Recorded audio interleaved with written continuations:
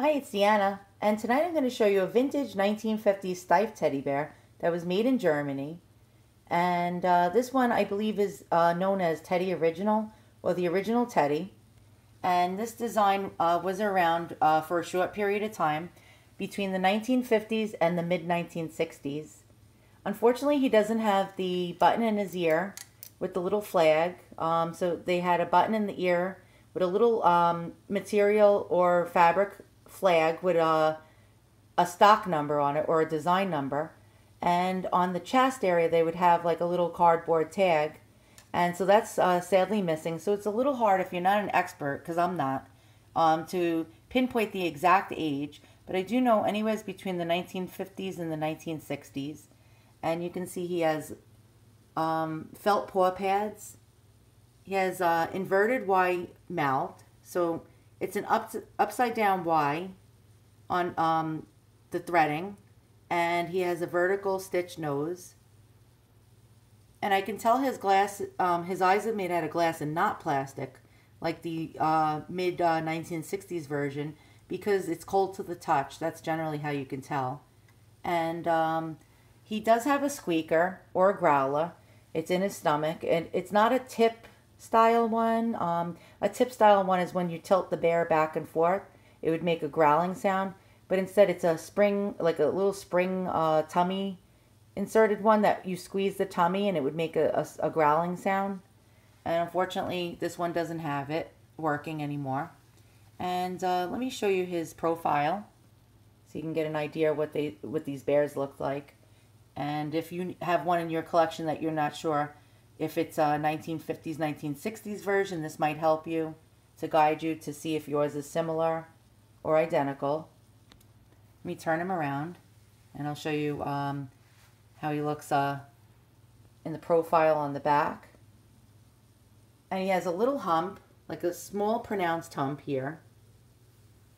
And you can see some mohair loss, which is uh, quite common with these uh, vintage bears, as they were loved. And uh, let me turn him sideways so you can see his profile.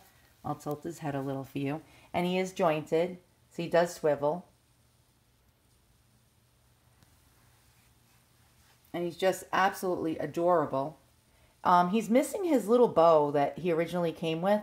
And I added this little um, orange one because I thought it looks nice with his mohair. And so, uh, yeah, so uh, Steiff was around uh, since the late 1800s when I believe her name was Margaret Steiff or Marguerite Steiff, um, who was actually handicapped and only had the use of one arm and in a wheelchair, started to make pincushion elephants out of felt.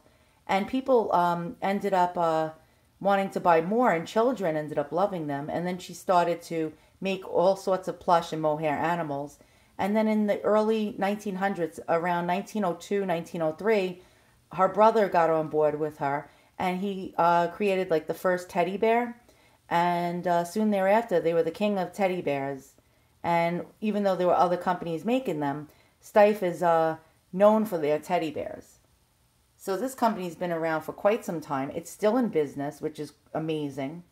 And uh, I like to have the older versions instead of the newer ones because they also make replicas of these vintage and antique versions and so sometimes you may think you have a vintage or antique Steiff, but you only have a replica or a reproduction made by Steiff, but of, you know, a copy of the original bears. And without the uh, little button in the ear or the little hang tag and the flag giving you the, uh, the number of the design, it's very hard to tell if you're not an expert. And like I said earlier, I'm definitely not an expert. And, uh, but uh, with, with Google, Google is your friend. That's I always say Google is your friend. Um, it can help you to figure out how old these bears are. This one is about 10 inches tall. And uh, they did make them in all different sizes. And so this is a petite one.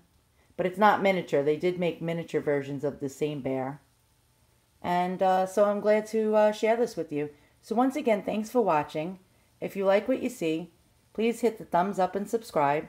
And tune in because I'll be showing uh, more antiques and teddy bears and all sorts of interesting things in the coming months, weeks, and years.